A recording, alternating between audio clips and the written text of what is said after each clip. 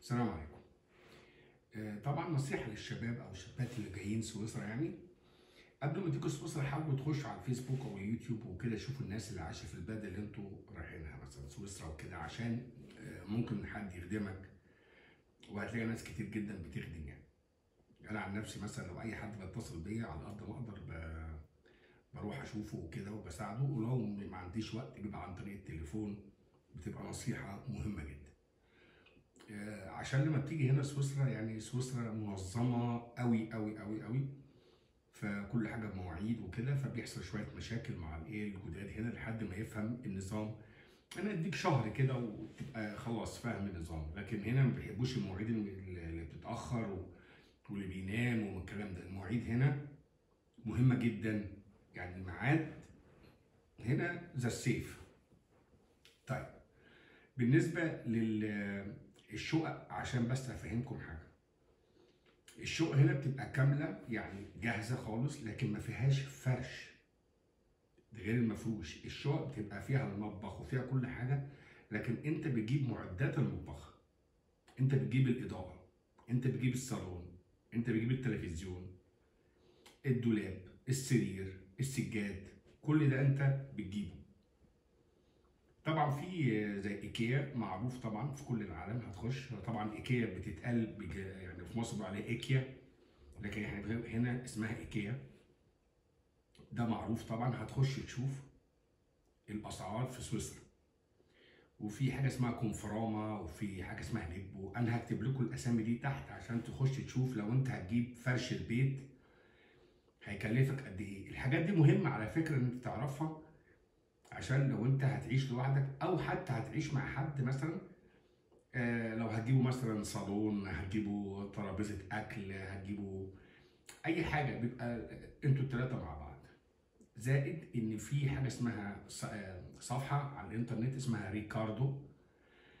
دي بيبقى فيها حاجات كتير gratis gratis أو أو cadeau أو free اللي هي ببلاش. هتلاقي حاجات غريبة جدا في الشارع وأنت ماشي. في المنطقة اللي أنت ساكن فيها آه واحد مثلا منزل دولاب وكاتب عليه gratis يعني تاخده معاك. ده مفيش أي مشاكل. جيب صاحبك هوب شلتوه خدته ده ببلاش. أنت ممكن تفرش البيت كله ببلاش.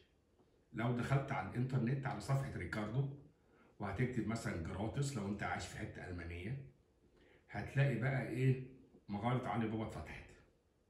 آه والله حاجات كتير قوي يعني. هتلاقي بقى حاجات لغرفة النوم حاجات للصالون حاجات للتواليت حاجات مش عارف لإيه مكاتب تل- تلفزيون آه، راديو سيديهات كل الناس هنا عندهم حاجات كتير جدا يعني. فدي برضو حل آه، في كتير جدا من هم بيدرسوا بيعملوا عليه بيشتغلوا عليها. طيب لو أنا لقيت الحاجة دي في الشارع من حق أخدها؟ آه طبعا ما مكتوب عليها جراتس أو ببلاش اتفضل خدها. ده هو حتى يفرح إن أنت خدتها بدل ما هي عشان نرميها هيدفع عليها فلوس.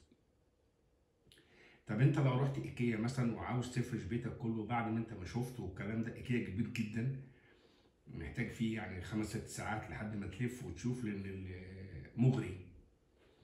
حسب إمكانياتك المادية هتشوف بتعمل إيه. عندهم عربيات آه، سيارات بتت بتتأجر. طبعا لازم يكون واحد مقيم ومعاه آه، رخصة سواقة أو اللي هي الدولية بس تبقى فاهم نظام المرور في سويسرا. يعني ده لوحده بكالوريوس آه والله نظام السواقة هنا يعني إحنا اتشوينا فيه. مفيش حد أجنبي جه هنا إلا ما اتشوى فيه يعني. فأنت كده بتجيب العفش. فأنت عرفت كده أو عرفتي إن في طرق آه، مجانية خالص وفي برضه طرق بيبقى عن- طريق الجامعة آه، أو عن طريق الأصدقاء. واحد مش عاوز آه، سرير آه، ممكن يسلفوه لك أو يدوهولك يعني أو صالون وكده. وفي زي ما فهمتك في مدخل الجامعة من السكرتارية بتلاقي حاجات كتير جدا جدا. لو أنت هتسكن في زيورخ سيتي زيورخ سيتي مش محتاج طبعا سيارة يبقى زيورخ سيتي هو أول حاجة الدراجة أو البسكليت. هتلاقي كمية دراجات كتيرة جدا جدا جدا. أسعار الدراجات برضو مش رخيصة. يعني أقل أقل دراجه مثلا 250 300 فرنك اللي هي كويسة يعني. بس لازم تقفلها كويس ها؟ عشان إيه؟ هم مش بيسرقوها. هقول لك بيعملوا إيه. هم مثلا واحد مثلا مكسل يمشي ياخدها ويروح آه، رايح المشوار بتاعه بعدين يرميها. وتقعد بقى تدور عليها يعني بقى والبوليس وكده. في الآخر هتلاقيها أو مش هتلاقيها خالص. فحاول تقفل ال- ال- الدرجه بتاعتك ها؟ أنا اتسرق مني اتنين يعني. ففي زيوريخ الترام طبعا لل- اللي هم تحت 26 بيبقى لهم تذكرة رخيصة.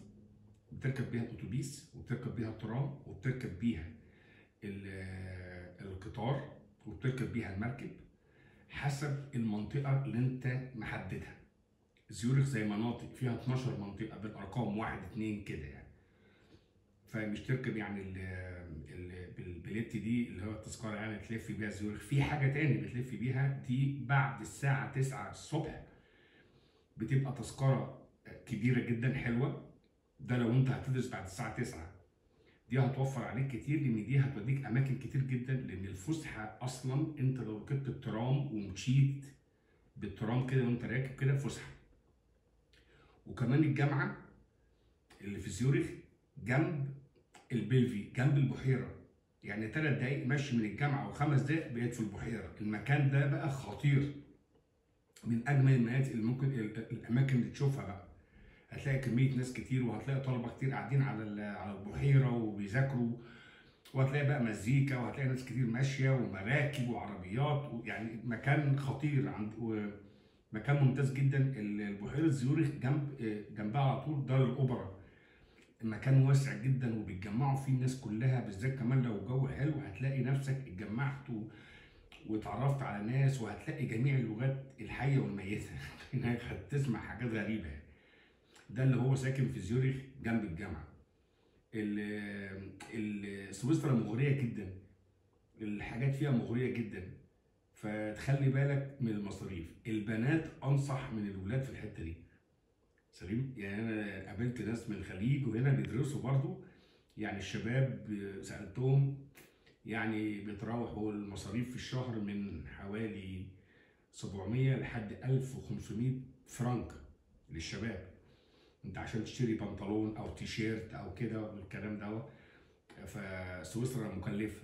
طبعا مع مع الفترة هتعرف بقى هتروح تجيب من الها اند ام ومش عارف إيه. في حاجات كده هتعرفها لما تيجي تعيش هنا البنات موفرين جدا وبيعرفوا وبيخشوا على النت وبيسألوا وعامة البنات هنا كمان يعني دول الخليج ما شاء الله عليهم ممتازين وناصحين جدا جدا جدا بيسألوا السويسريين وبيسألوا في الجامعة يقول لهم روحوا اشتروا من هنا روحوا اشتروا من هنا فبي بي بيعرفوا.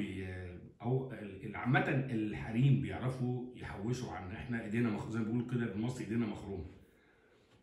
في حاجات هنا ودي هنا حاجة برضو السويسيين بيحبوها جدا اللي هي بيبقى في أسواق للحاجات المستعملة بيبقى يوم السبت جنب الجامعة بعد عند البحيرة دي كده بتعدي الكوبري بتلاقي جا- سوق في منتهى الروعة هتشوف حاجات عمرك ما شفتها في حياتك.